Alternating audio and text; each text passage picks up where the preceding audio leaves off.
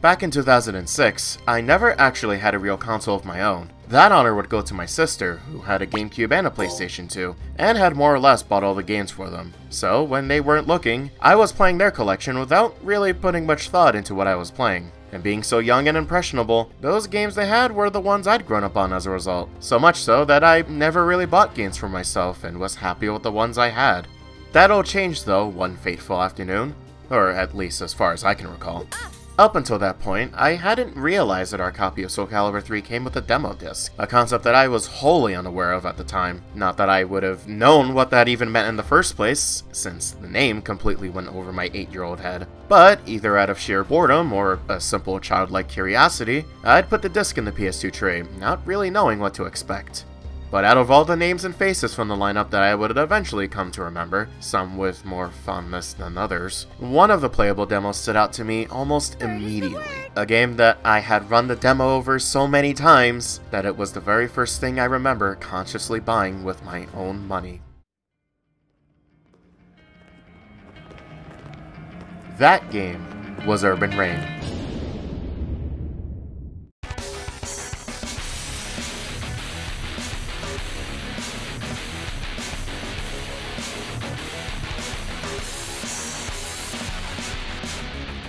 Gentles and lads, my childhood.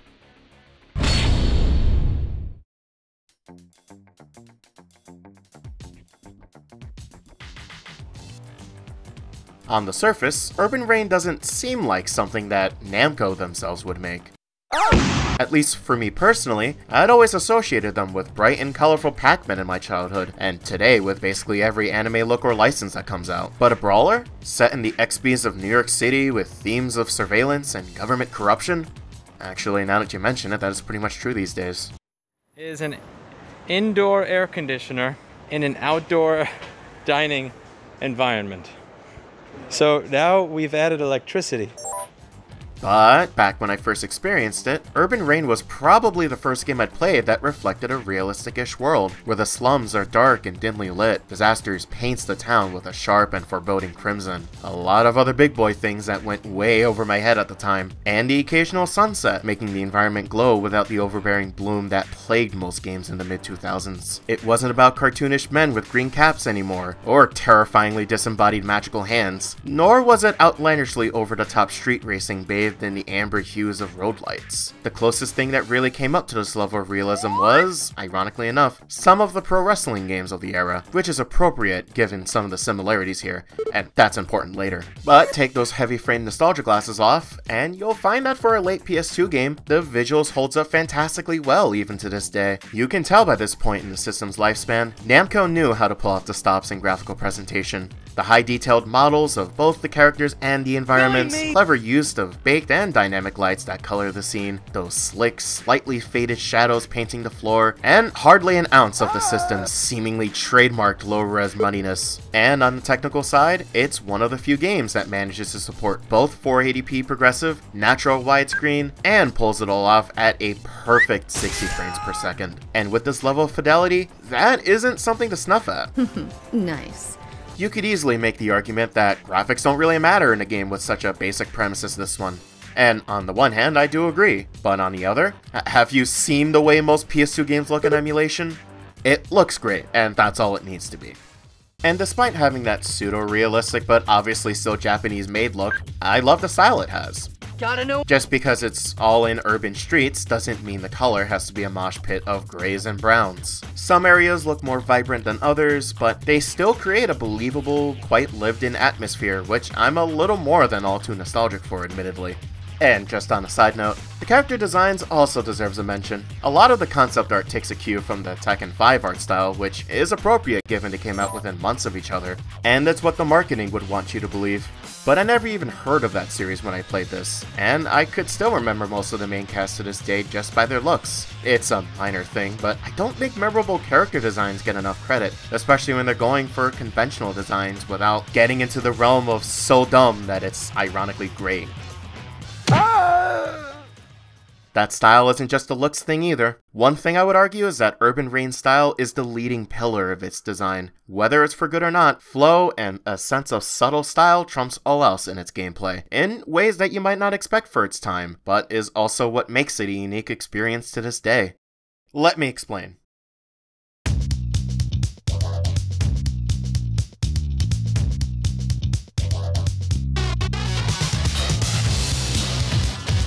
Urban Reign is a beat 'em up, but not in the traditional sense. Most people, when they hear beat 'em up, might think of the 2D belt scrollers from the 90s, or retro throwbacks in the teens and 20s. You probably already know the ones, like Streets of Rage, Final Fight, pretty much any of Konami's arcade games of the time. They all follow a very similar and streamlined formula scrolling until the screen locks in place, flanking enemies by walking into their lanes, very simple combat and attack chains, and maybe a screen filling super of some sort. That's not what this is though as it's entirely three-dimensional and the only limits are those set by the stage. There were plenty of three-dimensional evolutions of the genre around the time though, like Devil May Cry and God of War, but those are what are categorized as character action games.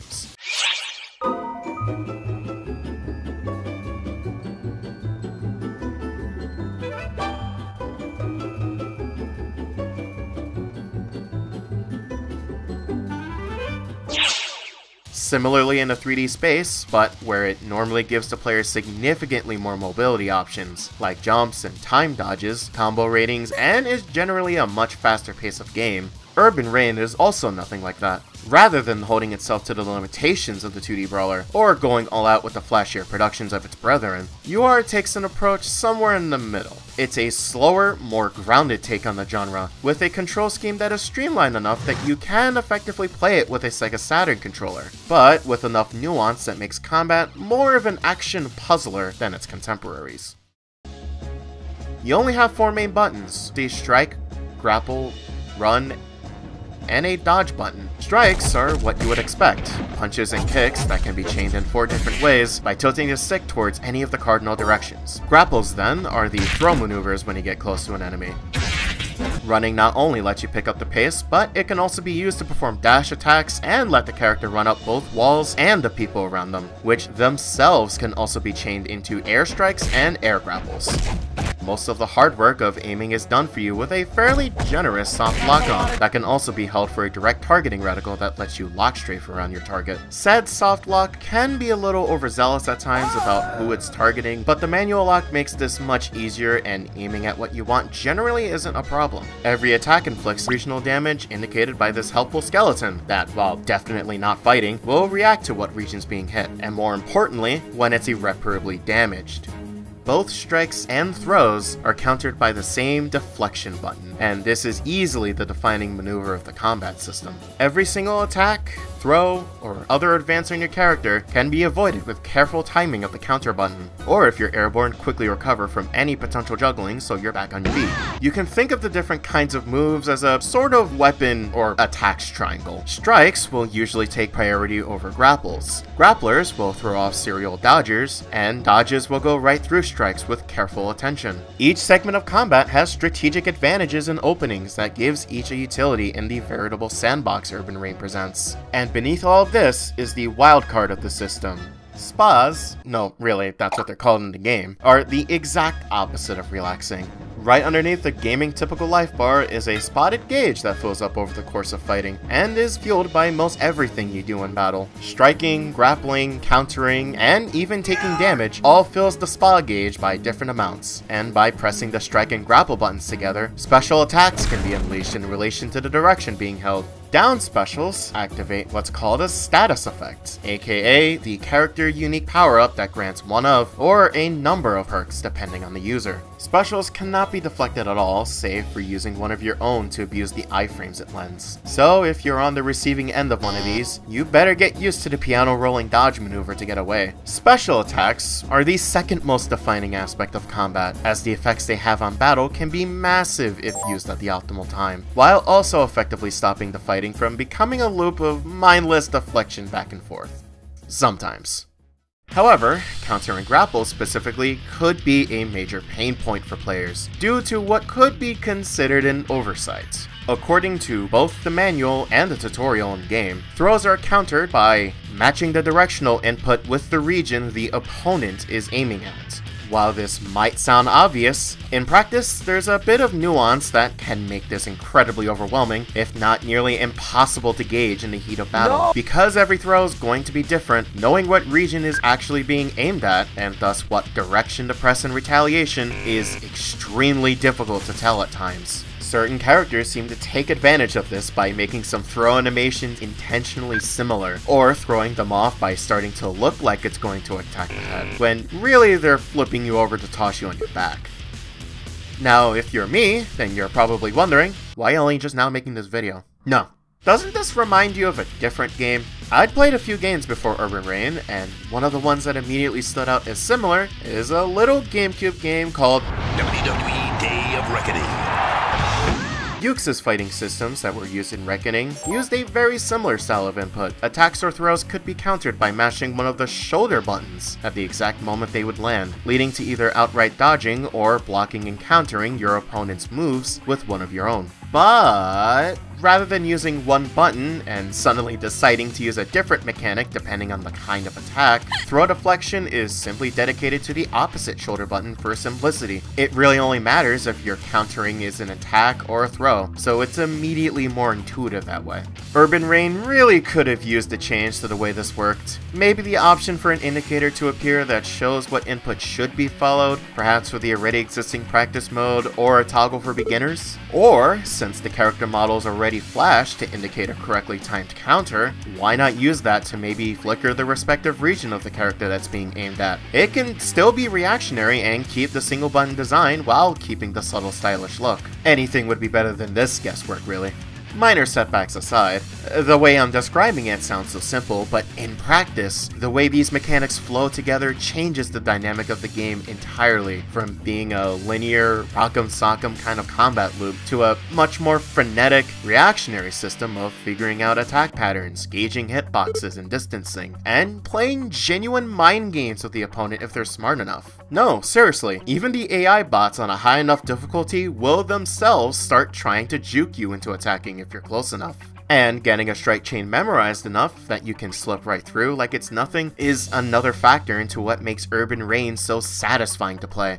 When rolled together into a single package, all of these mechanics together creates a microcosm of strategies. This makes for, dare I say it, very emergent gameplay that can evolve what would otherwise be very conventional fighting scenes. These emergent gameplay moments, from the excessive dodge juke mind games to the management of special energy to the environment itself sometimes, all these factors combine into a challenging, maybe even too difficult, but fair and debatably balanced fighting system that's far more substantial than its 2D brethren, while being generally easier to grapple and adjust to, while being just as difficult to master as the character action stuff. It's all very nuanced in ways that can remind you of the Soulsbornes, also games published by Bandai Namco, funnily enough. A very similar risk versus reward paradigm can lead to many, usually easily avoidable deaths, but also make for a very satisfying ending when you just barely edge out a win from purely your own skill reflexes and maybe a bit of luck.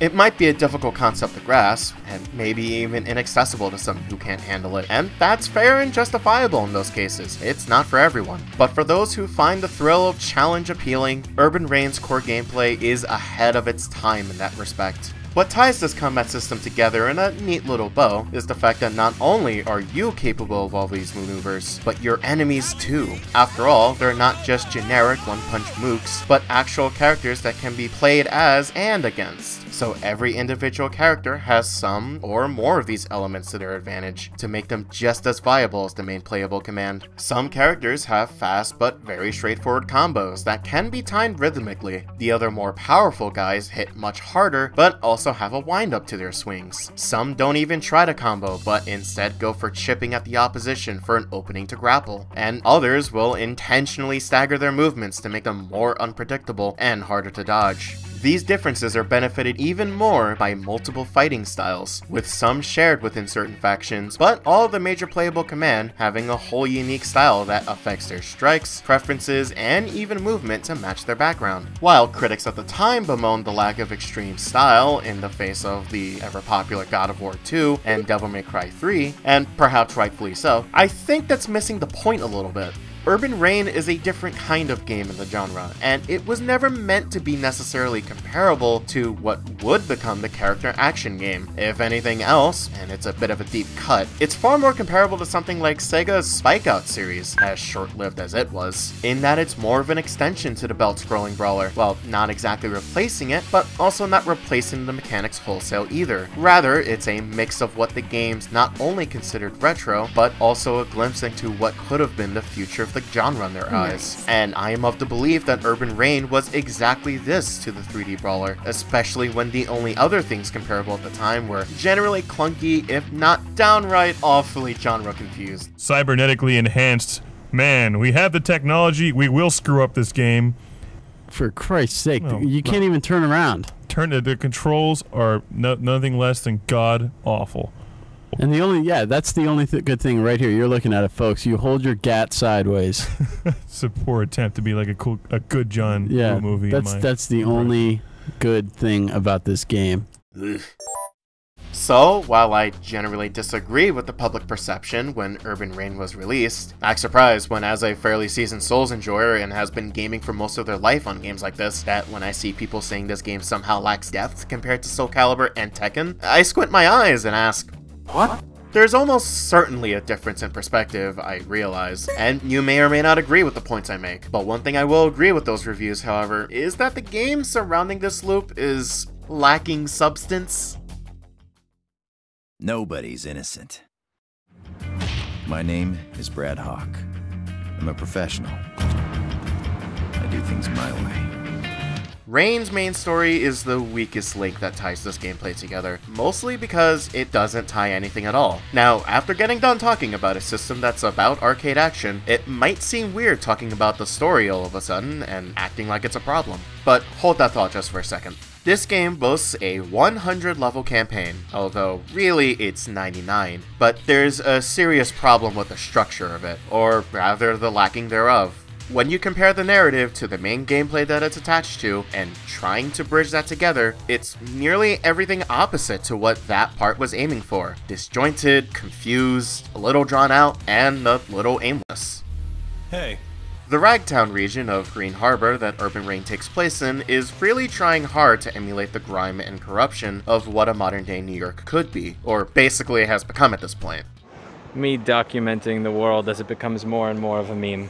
And at face value, it tries to say something about surveillance, the power of money, greed, government corruption, but it feels woefully undercooked in a few ways. The kidnapping at the beginning that sparks the war between the major gangs of the city is a compelling way to set the stage for what's to come. But that napping of kids, which sets the whole thing off, is sort of forgotten about after three missions.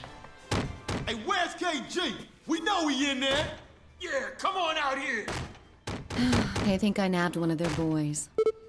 All the way until the end of the first act when the dust settles with the gang victimized by this. Only for the real perp to literally ride in at the last minute, almost as if on cue set by the story, where the next two major factions walk right in to make a mess of the town. They cause such a riot more than any of the rest of the gangs up until this point that the power goes out on the map and the atmosphere is decrepit and more ominous compared to before. But there really isn't a city to necessarily be worried about among all of this. Almost immediately at the start, these gates block off all the roadways for people to come through, hardly even pretending it's a thinly veiled excuse to explain the battle locales being locked off. There are character moments, but those only go as far as brief 5 second interludes that introduce the rest of the cast.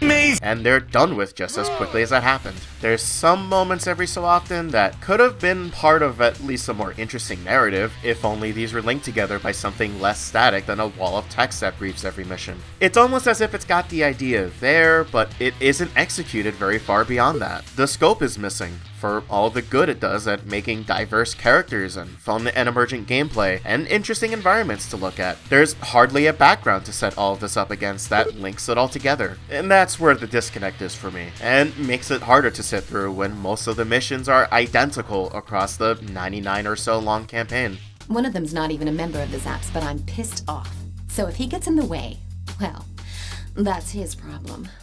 All the objectives are about as simple as you could get considering the setup. Uh, some are more interesting than others, but most end up being elimination, with the occasional caveat like a fairly generous time limit, dispersing a group by taking out the commanding foe, or busting up the enemy's body by continuously kicking them in the dick. The missions in the second act onward are probably most let down by the way the partner mechanic is handled, but not in the way that you would expect. Your friends in crime aren't necessarily dumb or incompetent, even if they can sure act like some of the most mid 2000s act dummies sometimes but their behavior is still mostly head and shoulders above most any other escort you'd have to contend with. Partners can be extremely helpful, since they can perform team maneuvers that are both powerful and grant invincibility frames in the process. But when they want to let themselves die, sometimes they just will. And you don't have many options to command them either, despite the game telling you that you can and should. Issue your commands clearly and wisely.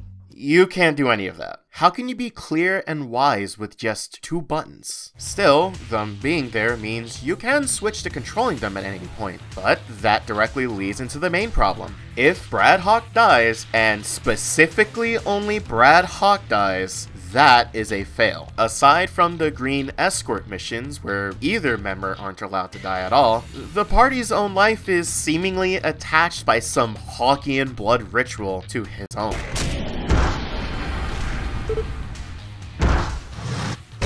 I can only assume that this is an oversight, but whether intentional or not, this limitation uncharacteristically locks away some strategies that could have been viable had either partner been allowed to kick the bucket and continue fighting. Despite all the problems, is the whole campaign bad? No, not at all. There is some real merit to the story, even if it isn't from the storyline itself. Hey, yo, what's your problem, huh? For one, duels are appropriately common and serve as somewhat of boss encounters in the story, usually against some of the main story characters. And the combat is so flowful when it's allowed some room to breathe because of these encounters, letting the mechanics simply work to create intense battles. Crank these up to very hard, and you'd be surprised just how genuinely tripped up you can get from fighting these guys. Which is odd, seeing as this is Namco we're talking about. They're usually the kings of making some of these mono-e-mono fights feel very clunky and awkward, particularly particularly in some of their RPGs, and yet here, it's the total opposite. Speaking generally, and despite my complaining about how aimless it might feel, I do enjoy the changes between the first and second acts. There is a real transition here. You're only fighting run-of-the-mill hoodlums to start, some serious ballas like Real Deal in MC. Uh-huh, yeah. And the all-star cast of these high school portrait faces give a lot, if not unintentionally funny meme material. They're all fairly low-ranking punks all around. The most threatening thugs are the shirtless boxer and the main cast that starts to pop up occasionally. But once the real threats come into town though, and the lights come off, the rogues gallery gets significantly more dangerous. There's actual sinister intent, and they become more morally dubious as you climb up the ranks. It's a subtle progression in the threat of foes, which is appreciated as it makes the fights that much more rewarding to conquer. One of the main targets of the second act is Napalm 99, one of the ex-convicts that leads the charge of terror on the city. It's pretty funny how the first time you're meeting him is you making the jump after they've gotten a bite to eat. And it just so happens that his status effect special is not just strength and super armor, but also a small healing factor. Is this the effect of the food he just ate? Or did Napalm really just stuff a bunch of burgers down his trousers? And wait, since we just saw the city getting destroyed by these guys, and the aesthetic is absolutely ruined by this point in the story. Where is he even getting these infinite Muse shopping cart of treats worth of sandwiches from? Well, by the end of the second act, Napalm and his friend Doug McDonald's is gone and dusted. Until a whole other faction of goons literally walks right in, almost like they were also nearly late and the story roped them in on stage at the last second. And this is probably the part where the fatigue unfortunately sets in the most, as the convicts are still causing trouble and McDoug Kinsey over here continues popping up like a photo bomber at an anniversary party. One of the good things about this third arc, though, is one specific enemy that is introduced at this point. Golem. Gollum. Uh, oh. It's Gollum? That doesn't sound right. Has it always been pronounced Gollum? I always pronounced it Golem. Golem. Yeah, Golem. Golem. Google wouldn't lie to me. The hulking brute with the striking scar and tattoos all over. He's clearly framed to be this force of nature, bearing some of the highest stats that hits and takes hits like an absolute tank.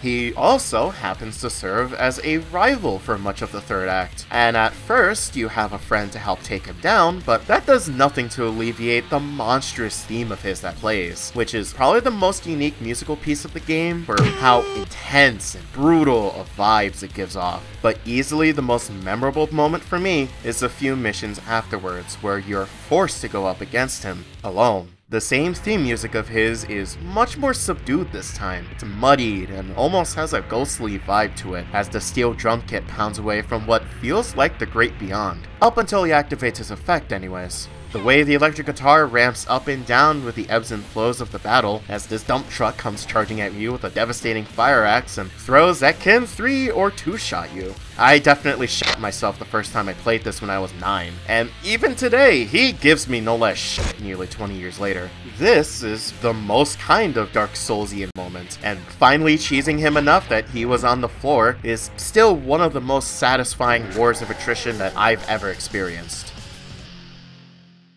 And Namco must have agreed, since he shows up another three times. It starts to get a little ridiculous by the fifth showing, I'm not going to lie.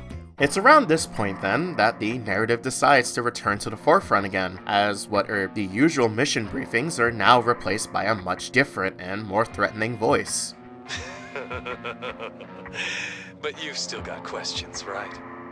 Well, I've got your answers. But you'll need to get yourself over to Green Hill. Oh no, he couldn't possibly mean.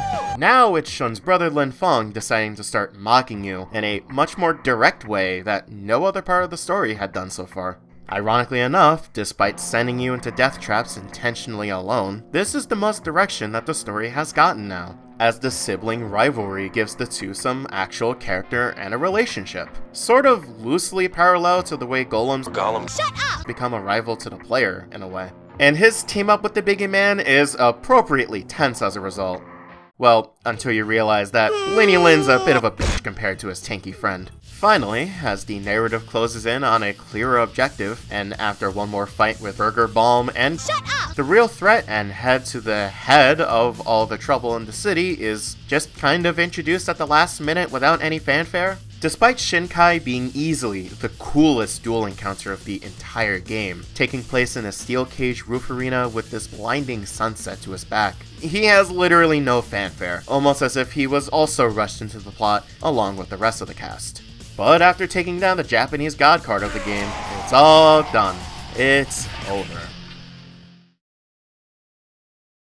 Except it isn't, because of this little breadcrumb conveniently dropped down Shin's pants. And now, cue one of those moments. You know the ones. The endgame lore dump where all the pieces come together, brought to you by this briefing that is so long that the slow automatic text scroll gets outrun by the voiceover, so you have to manually scroll it. Not only does this look and feel rather clumsy on its own, but the fact that this happens after what could have just been the real final boss character, especially is the real final boss character, and the fact that this presumably happened several days after without much of any indicator as to the timing of this, without any other event tying these threads together, it's not great. But the mission that comes after might just make up for it a little. I haven't had a chance to talk much about the music in general, and that's for a good reason. For all of the weird story choices contrasting the brilliantly styled gameplay, Reign's soundtrack is just fine. Uh-huh, yeah. It sets the mood appropriately enough, more often than not. Some tunes are definitely more memorable than others, but in a direction reminiscent of Sonic Adventure 2, ah. there's a bit of an overemphasis on rock music, and specifically the electric guitar plays a lead role in many of these tracks. It isn't bad by any means, but it can be fatiguing especially by the second act, when most of the repeated themes become grungy rock.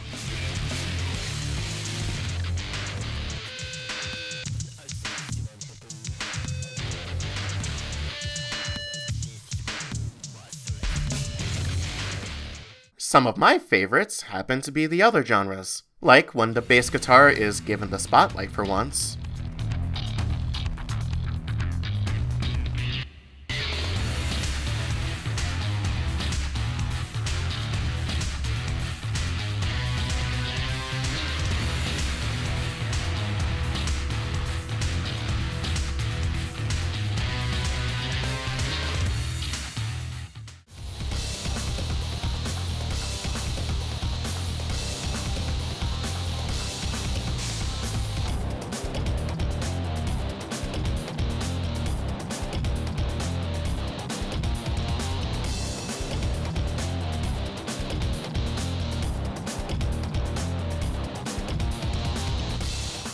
The main riff in particular gets used for a many of the pivotal moments or bosses.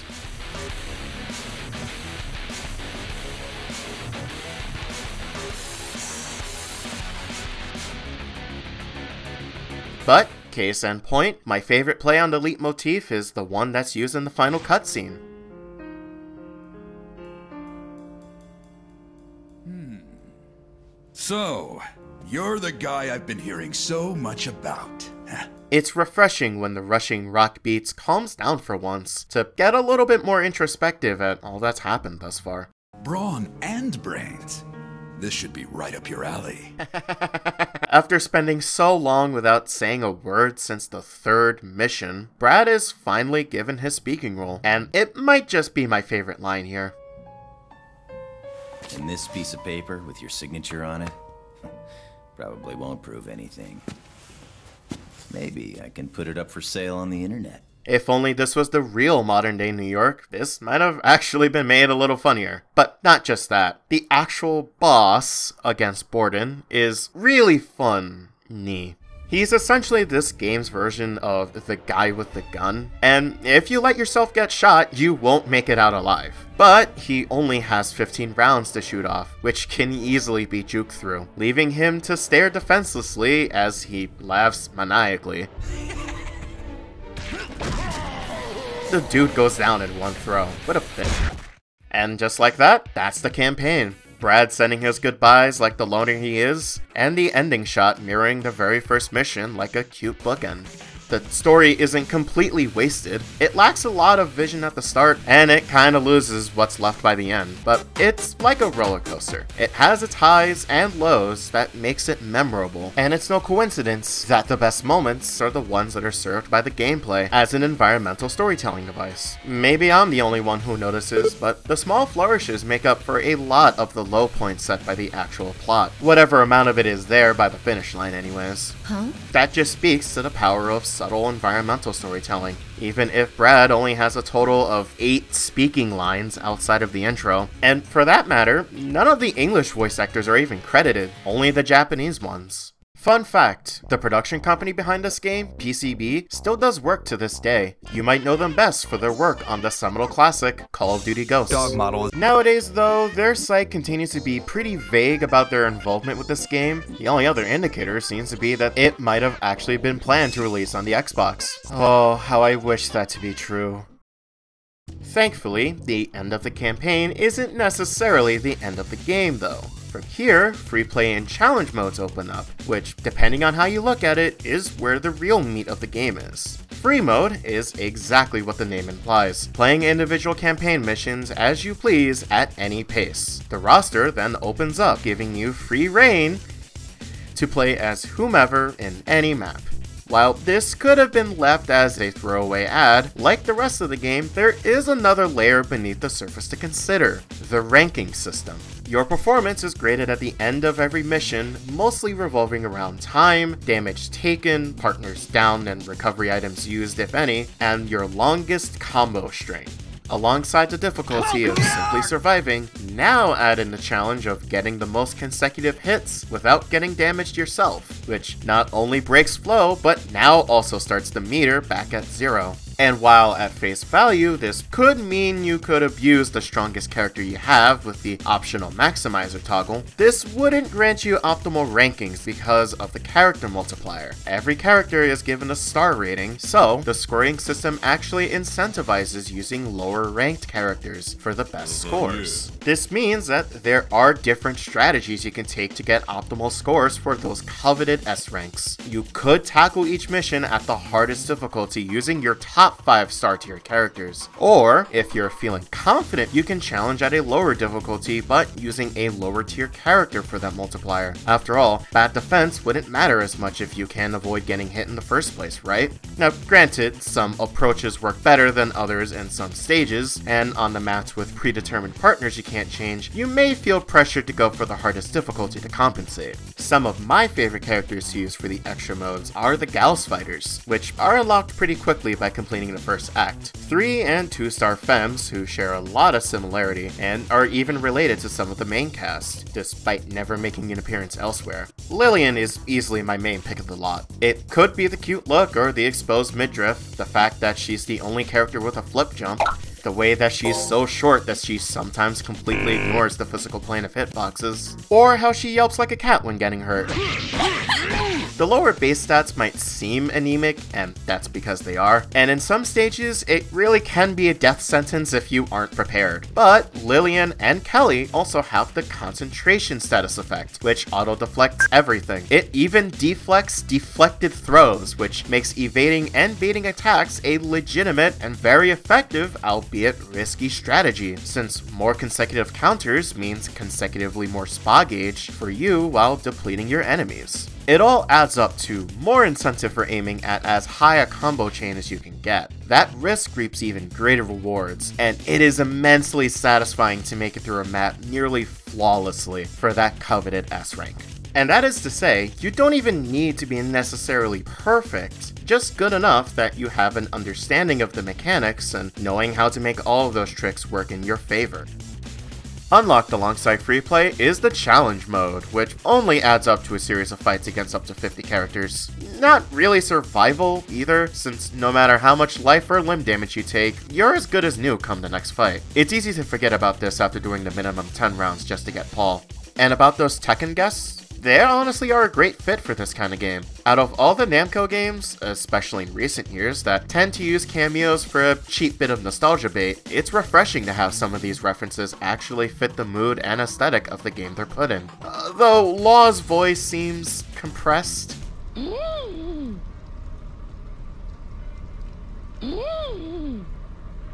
Multiplayer is also featured, which would be a crime not to have in a game like this. Go at it with any of the cast unlocked with up to 4 people or computer filler in 7 stages. There are other modes besides normal fighting, but unfortunately they require at least a second real person, so I couldn't try them. But the other modes would include variations of a King of the Hill or Domination style, where weapon hoarding is the key, and an objective-based match about either destroying or throwing your opponent into a key object owned by the opposite team. Sort of like two-way capture the flag, but more like destroying the flag more than anything. On top of the multiplayer modes that it gives you, there is also a secret third mode that's only unlockable via cheat code. Remember when games used to have these? Put this code in the title, and now all of the co-op missions in either story or free play can be played with a friend as the partner, assuming there is one. While this seems really cool in premise, there is a problem here. Certain other cooperative games of the time didn't tend to follow the playable characters well, and only opted to track the leader exclusively. And unfortunately, the same is true here. Even if another player is joining, the camera exclusively follows the first player. No display cut, not even any distant camera panning. So while co-op might be an option, I think there's a good reason it's hidden behind a cheat code. I'm not that vain to ignore that this video could be summed up as just some Seong bemoaning how his childhood game wasn't actually as good as he remembered. But whereas most nostalgia games tend to come and go about as quickly as they're remembered, Urban Reign manages to stand tall among my collection even to this day. The core fighting mechanics continues to flow just as well, if not a little better than the day I first met it, and age hasn't done a thing to dampen my enjoyment either. It brings back such good, much simpler memories of what games used to be about, when they had substantial content, large rosters, and the potential to be something special without relying on live services, online connectivity, and those godforsaken battle passes. Because it didn't need those. It seems like Urban Reign did enjoy some marketing, but the game seemingly went overlooked since most of the wiki sources are incredibly bare. And whereas most of the critics were mixed or even panned the game at the time, and rightfully so in some respects, the people who actually bought and played it near universally praised it just for its gameplay alone. There's clearly some fans out there for UR. In fact, take this into consideration. While the artists came from Tekken and Soul Calibur 2, the lead developers hadn't actually worked on the game before. So all that marketing that was hyper-fixated on it being made by the creators of Soul Calibur and Tekken is a little disingenuous. But rather than settling with making a budget title and leaving it at that, this fresh blood made a bona fide classic. That deserves some credit. And just because I'm finding the campaign as it was somewhat repetitive, it shouldn't undermine how excellent that central brawling gameplay loop is, and just how underutilized this streamlined, more nuanced style of arcade fighting truly is in the modern gaming landscape. This is an underappreciated style that, in an age of retro throwback beat 'em ups and especially more difficult games for the harder core in the last few years, I think Urban Reign could have another chance today with either its story being fleshed out to better complement the gameplay, or scoping in solely on the mechanics that allows it to stand as one of the pillars that gaming is truly about. It is, in my humble opinion, what 3D Brawlers could have been, had this style not been almost completely overshadowed by either the 2D likes of Turtles & Co., or the over-the-top stylish fighters that Dante, Bayonetta, and others have cemented as being staples of the genre. Of course, those games have their place and are immensely enjoyable for their own reasons, but there could also be room for something in the middle. We don't get enough of those that try for something different, and I think people deserve to have a little more nuance in today's gaming landscape. And that is all there is to be said. Until the next video, whenever that may be, love yourself and everyone around you, and thanks for watching.